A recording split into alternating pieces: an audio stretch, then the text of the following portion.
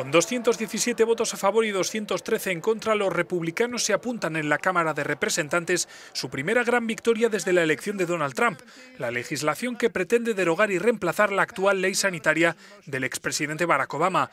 Después de largas semanas de negociación en la propia bancada y dos intentos fallidos para aprobar el texto, Paul Ryan, artífice y gran valedor del mismo, estaba exultante.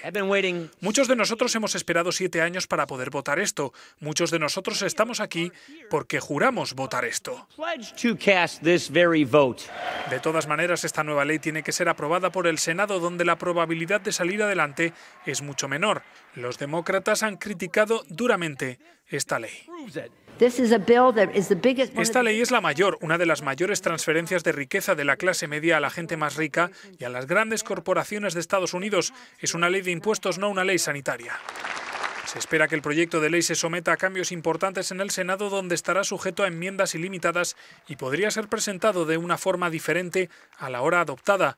Trump ha escenificado la victoria rodeado de los congresistas republicanos que la han hecho posible.